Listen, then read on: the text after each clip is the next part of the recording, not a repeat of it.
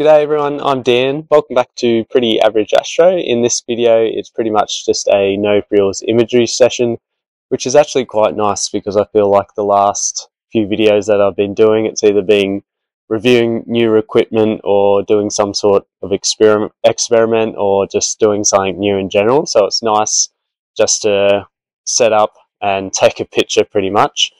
My target for tonight is NGC 6188 otherwise known as the Dragons of Ara, or Ara, or Ara. And pretty much it's going to rise again to my left and it's going to track over uh, the house pretty much all night. And I've actually already got eight hours on this target from last week. I had a really nice clear night uh, where it took 105 minute frames, and out of those 100, all of them were good. And I've already stacked them in PixInsight fully edited the image with a plan to release that video this week, but pretty much I just haven't had time. And I've got another clear night tonight, so I was umming and ahhing whether I just keep that eight hours and choose a different target for tonight. But what I've decided to do, just based on the last video that we had, where we had, I think we had about 20 hours of data, I'm going to try and do the same and get about 16 hours worth of data. Um, and because I've already processed that image, it'll be nice to compare, I guess, double the amount of time. Uh, so that's just the plan for this video. Yeah, so that's pretty much it. From here, I'll just take you through my equipment. I'm back on the Evolux 82 ED, which feels pretty good. And yeah, I'll follow that with a Gucci time lapse and hopefully to the images. So for tonight, we've got my belt modded HEQ5 mount. I have the Evolux 82 ED and Inside, I've got the Starizona 0.65 uh, reducer flattener, the ZWO filter draw with the Optolong L Ultimate, and then the uh, 053 MC Pro. I'll be guiding tonight with the 290 MC planetary camera and the Evo Guide 50 ED. It's just got a UV IR uh, filter at the front and then the ASI Air Mini. And yeah, that's pretty much it. With this uh, flattener, it takes my scope from, I think, f6.5 to about f4.2. Yeah, so it's a pretty nice setup. And I've just realised this is probably the first time I've worn a jacket in one of my videos. Uh, cold weather's finally catching up to us in Queensland. It's been a very chilly, uh, getting down to about four degrees overnight, which is probably nothing to some of you guys overseas in the minuses, but Queensland, pretty cold.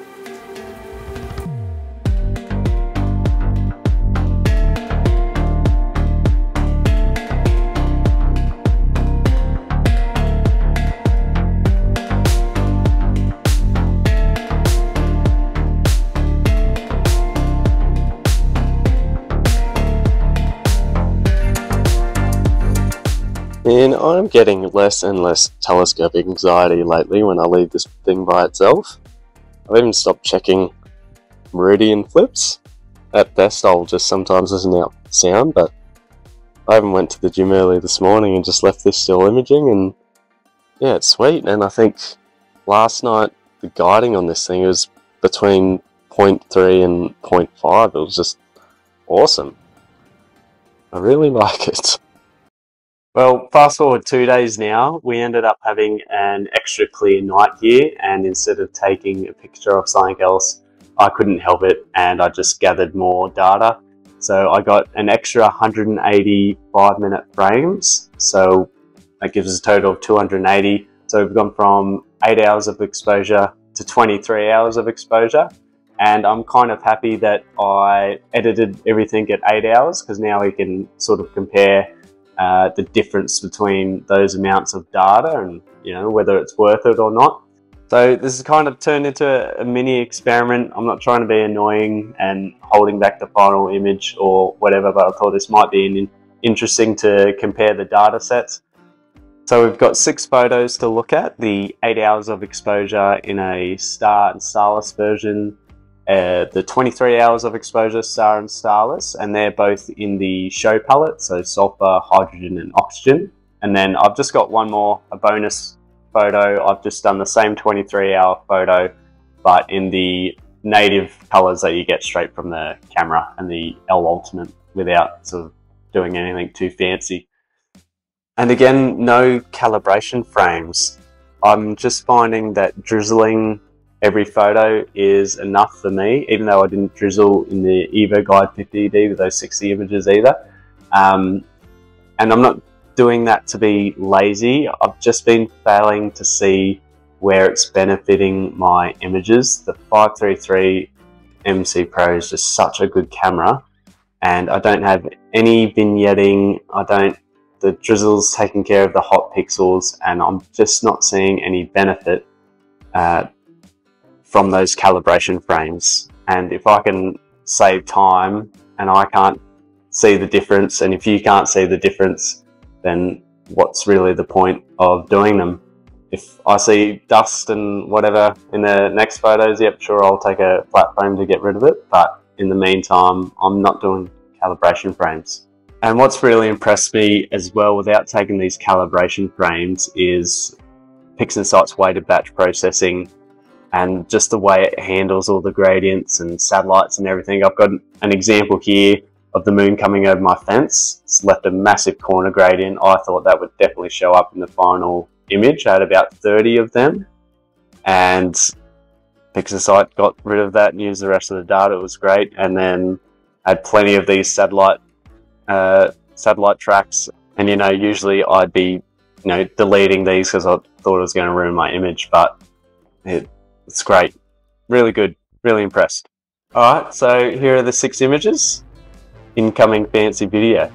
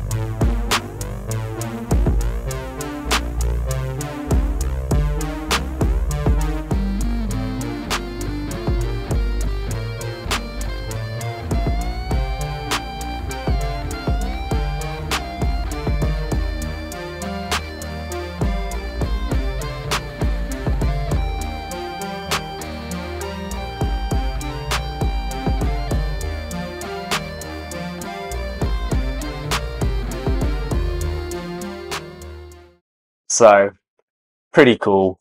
Um, definitely my, my favorite is the 23 hour starless image. That image is so cool.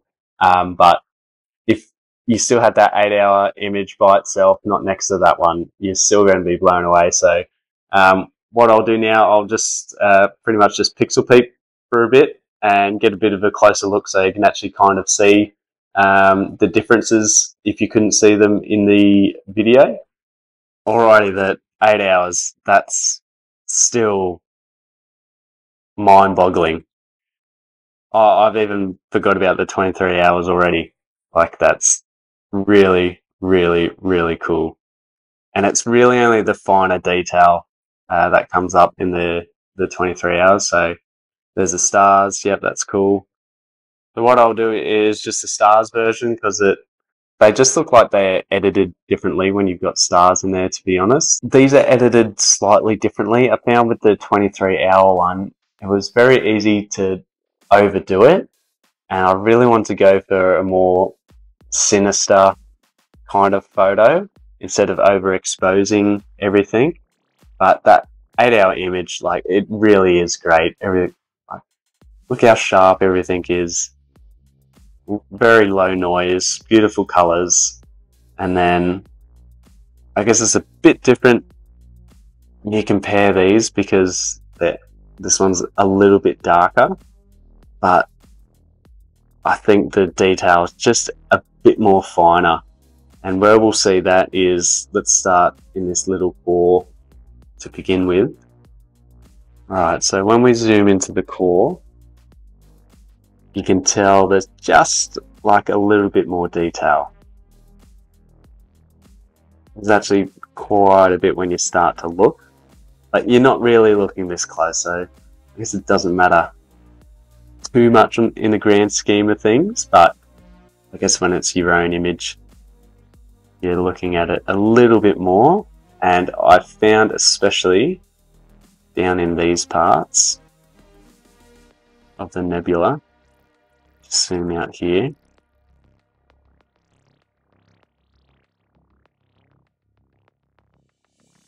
So you can definitely see, especially in these two middle parts, it's definitely more detail as you scroll up here as well. You're just getting a little bit more, a little bit more, but I'm glad I am because I'd hate to waste two nights of exposure to not see that much of a difference. Um, but yeah, that's pretty much that's pretty much it really like that photo is I really love that photo. Really cool. Um, both very impressive.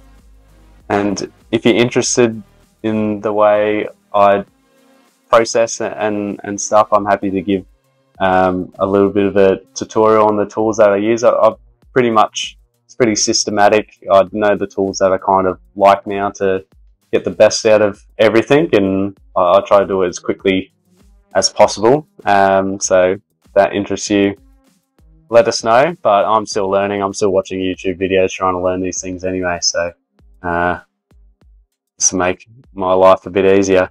Um, but yeah, I'm waffling a bit. I don't really know what to say now.